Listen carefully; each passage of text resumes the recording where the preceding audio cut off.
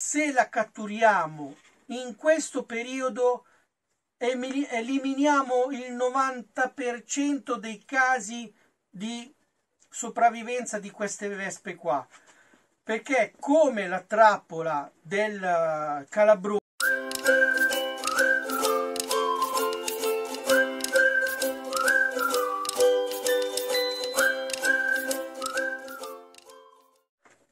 benvenuti amici anche quest'oggi sempre sul mio canale oggi parleremo di un insetto che non tutti l'hanno ancora potuto vedere perché da noi c'è in Alta Italia parliamo della vespa vellutina eh, molto presente in altri stati come la Francia che già dal 2005 ha fatto la sua presenza, ha invaso la parte ovest in particolar modo. Noi già da qualche anno, già dal 2012-2013, abbiamo avuto esempi a Savona, Imperia, a Rovigo, nella zona alta. Adesso però sono venuto a sapere che anche nella zona della Toscana qualche problema c'è stato. Dobbiamo prepararci. Come possiamo prepararci? Beh, adesso lo vedremo. Prima vi invito a iscrivervi al canale. Mi raccomando, azionate la campanellina e iscrivetevi in maniera semplice e mi raccomando un bel like se il video vi è piaciuto. Parlando sempre della Vespa vellutina, dobbiamo capire una cosa importantissima. Quando iniziare la lotta per questo insetto? Quando? Lo dobbiamo fare già dalla primavera. Primavera cosa vuol dire? Non aprile, non marzo, ma addirittura febbraio, in alcuni casi anche gennaio, perché dobbiamo sempre tenere a mente le temperature. Se la temperatura è abbastanza alta, cioè che supera i 10 gradi, già dovremmo mettere le trappole. Trappole importantissime perché? Perché le regine feconde che sono disponibili in quel momento iniziano a volare e mangiano di tutto, ragazzi, mangiano di tutto. Ragni, le vespe, attaccano addirittura gli altri calabroni, comunque di tutto, mangiano di tutto, quindi pur di portare proteine mangiano di tutto. Cosa dobbiamo dire oltre a questo? Che la vespa vellutina, se la catturiamo in questo periodo, eliminiamo il 90% dei casi di sopravvivenza di queste vespe qua. Perché come la trappola del calabrone anche questa è mirata. Eh, i consigli che vengono dati dagli esperti dalle varie prove che sono state fatte L'ideale è la birra con una percentuale alcolica del 4,7, 4, quasi anche 5, però loro danno questa, mh, mm, questa gradazione qua. Perché? Perché non attira le api, ma attira solo le vespe, calabroni e la vespa vellutina. Dove possiamo metterle? Beh, se siamo vicino a torrenti, fiumi, eh, zone dove passa dell'acqua, è importante metterle più in quelle zone lì, vicino a frutteti. Eh, se abbiamo piante che possono fare ombra eh, molto alte, perché comunque la vita sociale della vespa vellutina eh, vi è proprio nelle fronde di piante molto alte, 15-18 metri di altezza, quindi veramente scomode anche da poterci arrivare.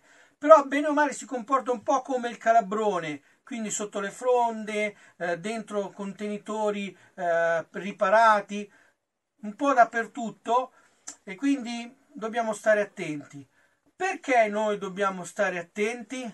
Perché il potere di azione di questa vespa è veramente devastante immaginate che una sola vespa, una sola vespa di, di, che è una regina, può addirittura mangiare 6.000 api prima dell'invernamento. Perché? Come funziona? Guardiamo un attimo un po' il ciclo vitale comunque dell'ape veluti, della vespa velutina. In primavera, quindi febbraio, marzo, inizia a uscire quando iniziano le prime giornate con tepore. Esce fuori, inizia a mangiare di tutto, di tutto. Inizia a costruire il primo nido, che si chiama nido primario, che è piccolo, fondamentalmente come l'inizio dei, dei nidi dei calabroni. Nella prima fase che, eh, che crea, la, diciamo così, la prima squadra di lavoro, la fa in questo piccolo nido. Quando ha iniziato a svilupparsi nella giusta dimensione, col giusto numero di, di individui, abbandona questo nido qui, si trasferisce in una zona più alta, ok? Dove farà il nido secondario. Nido secondario che eh, praticamente diventa molto più grande, addirittura vengono menzionati eh, alveari di un diametro di 50, 70, 80 centimetri di diametro e di altezza arriviamo anche oltre un metro, quindi delle, de, delle baccole così, c'è una roba impressionante. Fatto questo nido va avanti fino ad agosto. Fine agosto inizia lo spopolamento, vengono completamente abbandonati dalle nuove eh, api regine, da, dalle nuove vespe eh, re, che sono regine, quindi che si stanno fecondando e i maschi emanano un fenomeno molto potente dove vengono attirate le femmine. Fatto l'accoppiamento si danno al cibo proprio in maniera esponenziale. Mangiano api a tutto spiano, ma qualsiasi cosa anche che gli gira intorno. Cosa importante che molti sottovalutano è l'importanza davanti agli alveari di lasciare l'erba più alta perché se il predellino è a questa altezza e noi la tagliamo qui l'erba, cosa succede? Che la vespa, il calabrone, qualsiasi altro eh, essere che vuole attaccare l'ape, ci arriva subito. Ma se c'è l'erba davanti, l'ape è molto più piccola di loro, quindi passa attraverso, si appoggia e entra dentro. Loro hanno molta più difficoltà ad avvicinarsi perché essendoci l'erba davanti non riescono quindi questa è una, una difesa semplice, però efficace. E questo è un metodo. Il secondo abbiamo visto le trappole. La trappola messa lì dentro nella zona circostante. Ricordatevi, quando vediamo le vespe o anche i calabroni, eh, specialmente la vespa velutina, che è l'argomento di cui stiamo parlando, alla distanza di 300-500 metri c'è l'alveare, ok? C'è il nido proprio. Quindi noi dovremmo stare attenti e ricercare questo nido. Perché mettere le trappole vicino a un, a un diciamo così, a un approvvigionamento di acqua per loro? Perché loro, per costruire il nido, hanno bisogno di macerare delle, mm, tutto quello che può essere vegetale e hanno bisogno dell'acqua per la masticazione e la composizione della carta che utilizzano per fare la, diciamo così il nido. Fatto questo aspetto qui, noi riusciremo a prendere più vespe possibili con queste trappole qua.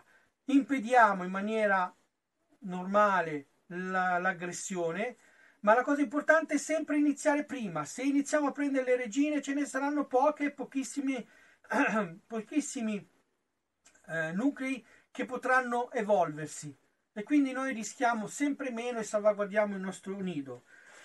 Quindi la fecondazione di questa regina avviene dai primi settembre, fine agosto, primi settembre fino a tutto dicembre, quindi è molto vitale. Quelle poche api anche che nel periodo invernale in una giornata calda che scappano fuori verranno predate se loro ci sono in giro. Cosa possiamo dire anche? Che i due nidi li possiamo trovare in posti completamente diversi. Ok?